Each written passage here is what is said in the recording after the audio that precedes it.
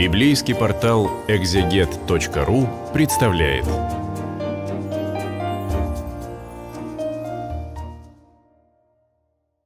Сегодня на библейском портале «Экзегет» мы оканчиваем изучение второй книги Ездры, и сегодня мы будем читать последнюю главу этой э, книги, глава 9. Она начинается словами «И встал Ездра от э, притвора храма, пошел в жилище Ионана, сына Илиасифова, и, пребывая там, не ел хлеба, не пил воды, скорбя о великом беззаконии э, народа. Что это за э, беззаконие? Мы уже исследовали с вами эту тему, когда мы изучали первые Ездры. Это 10 глава, 6 по 8 стих. Беззаконие заключалось в том, что евреи брали за себя а, нееврейских девушек, язычниц. То есть брак созидался, как мы говорили и при последней беседе, э, только на основах э, плотского э, влечения. И здесь э, не было надежды на то, что Бог благословит такие их отношения. И принимается решение каяться всему народу. И в три дня собрались в Иерусалим все от колена Иудина и Вениаминова. Это было в девятый месяц, в двадцатый день всего месяца. И сидел весь народ во дворе храма, дрожа от э, настоящей зимы, сказано здесь. То есть было очень холодно, скорее всего, дождь э, со снегом, но люди разделяли э, сетование своего патриарха на оси Ездры. И принимается решение все-таки прогнать этих женщин даже с их детьми здесь э, так и вспоминаешь патриарха Авраама, когда Сара настояла на том, чтобы он погнал Агарь э, вместе с больным сыном Авраама Измаилом. Он тогда был э, болен. И, конечно, для Авраама это было тяжело. И для этих мужчин тоже было тяжело в одни Ездры, когда им пришлось расставаться со своими э, любимыми, с этими женщинами и, прежде всего, с детьми. Но тогда Бог сказал Аврааму, слушайся Сару.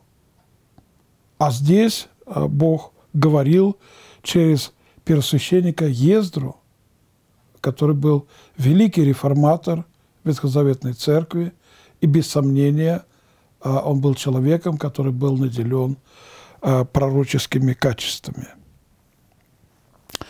С 18 стиха с 18 стиха по 36 перечень израильтян, женившихся на иноплеменницах – И э, с 37 стиха до конца 9 главы Ездра читает народу закон Моисеев. Об этом мы читаем и в книге Наимии. Это 7 глава, 8 э, глава книги э, Наимии, которую мы тоже изучали.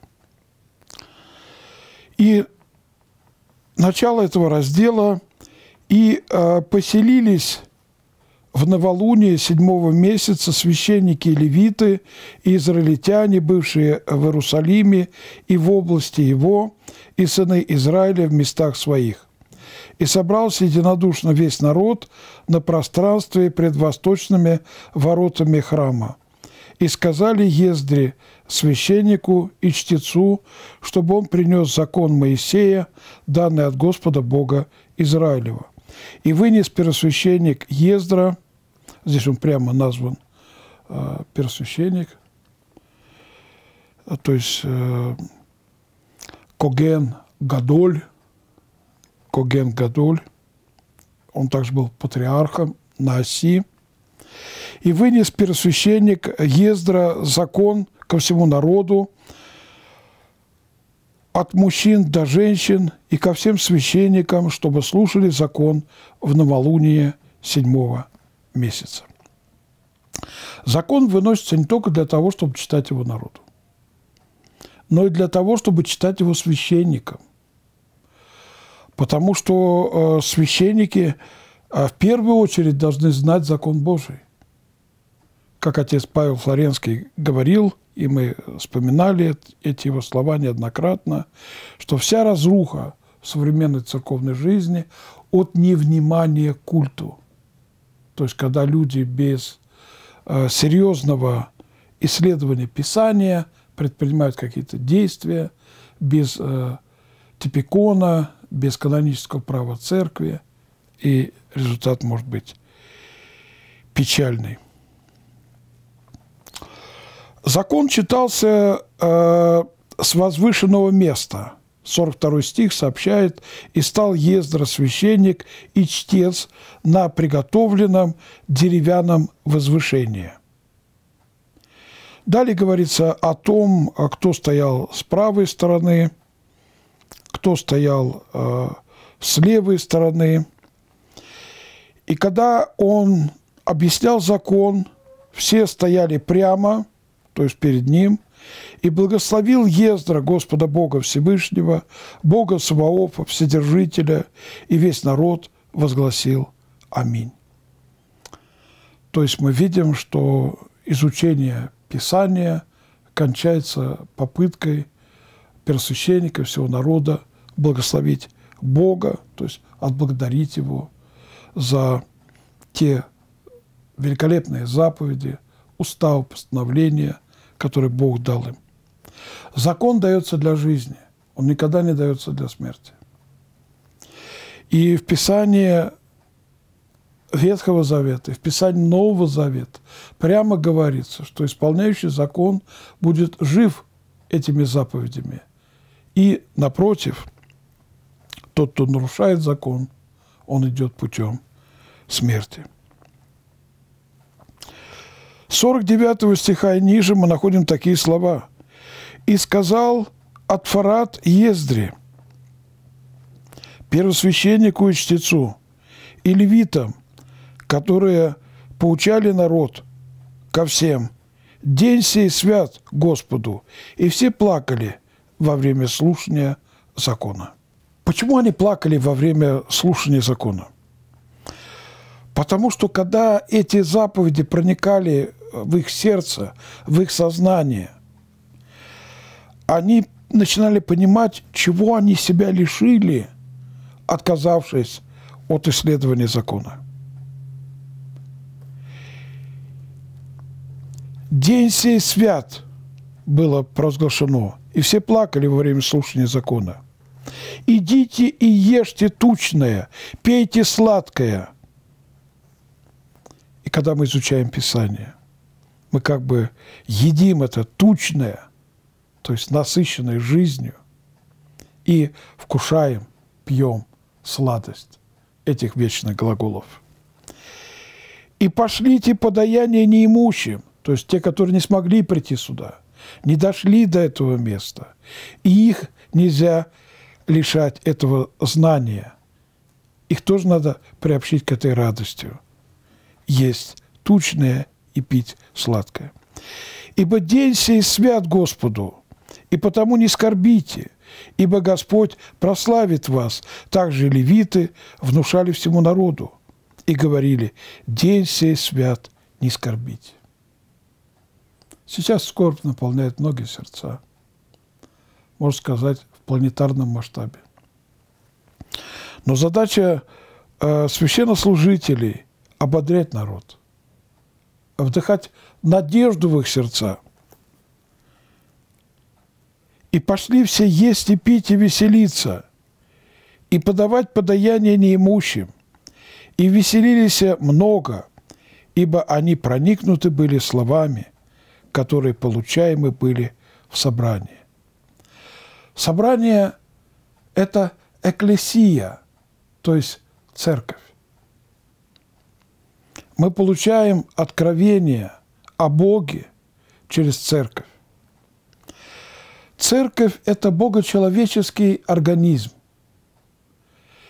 И мы научаемся через этот богочеловеческий организм истинам веры. Но там, где человеческое, там немощь, грехи, недостатки, пороки. Но немощная церковь продолжает благовествовать. Немощная церковь, изъязвленная пороками и грехами, продолжает учить. Почему первыми проповедниками воскресения Христа становятся жены мироносицы? Это немножко необъяснимо. Ведь Христос сам мог бы прийти к апостолам, да Он это и сделал, пройдя дверями затворенными.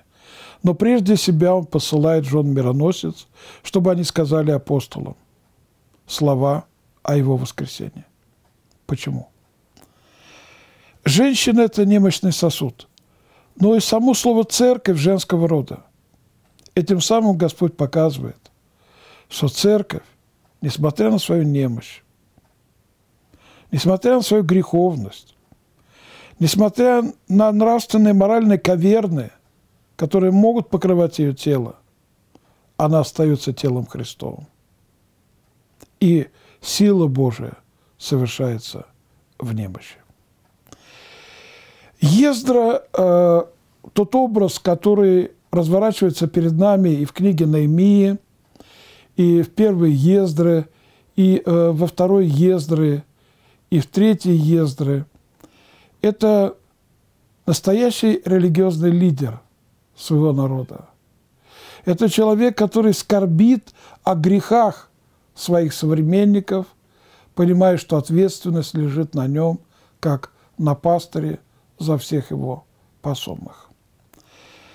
Конечно, мы увидели с вами, что вторая книга Ездра – это очень эклетичная книга, собрана из фрагментов книги Наимии и первой книги э, Ездры, и даже второй книги Паралипоменон. Но, несмотря на свою эклетичность, эта книга дала нам возможность, предоставила нам возможность благословенную возможность вновь и вновь рассуждать о том, как народ Божий, преодолевая кризис вавилонского пленения, смог возродиться к новой жизни в Боге и с Богом. Вавилонское пленение длилось 70 лет, как и э, большевистский террор, он осуществлялся их господство осуществлялось над нашим народом, господство госатеизма 70 лет. До сих пор мы выбираемся из-под руин. И за эти 30 лет мы не смогли восстановить все храмы, восстановить все монастыри по просторам нашей земли. Работы предстоит еще очень много.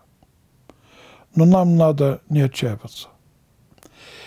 Эпидемия коронавируса, она ввергла не только нашу страну, но весь мир в состояние паники, ужаса, неопределенности. Но религия наполняет смыслом все. И мы с вами часто вспоминаем слова блаженного Августина, что Бог никогда не попустил бы зла, не имея намерения и само зло обратить в добро. Поэтому вавилонское пленение еврейского народа принесло им и благо. Как в добротолюбии говорится, что Бог иногда попускает нам уходить от Него. Бог иногда попускает нам впадать в какие-то грехи. Но Бог всегда это делает с одной и той же целью, чтобы мы поняли, что мы не можем жить без Него. Итак, сегодня мы окончили изучение второй книги Ездры. Спаси вас Христос. Берегите себя.